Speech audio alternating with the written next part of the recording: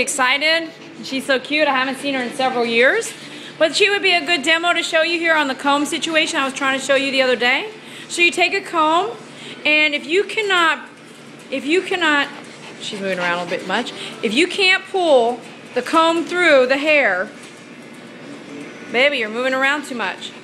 If you cannot pull the comb through, then you did not brush good enough, okay? See how it's getting stuck there?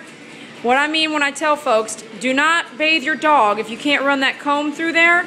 So you would come back with your brush, and mind you, I've got a camera in one hand, but you come back with your brush and you brush until you feel no snags.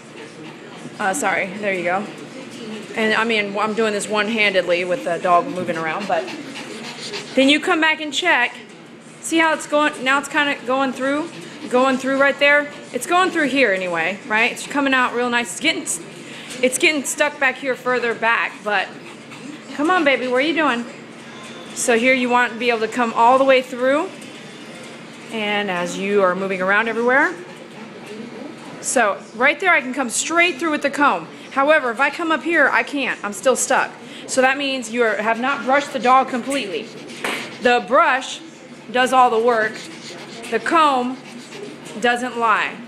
So please uh, brush your pets thoroughly before you bathe them. Any knots in, a, in water become twice as thick and harder to get re removed. All right, so we're shaving this baby down. Thank you.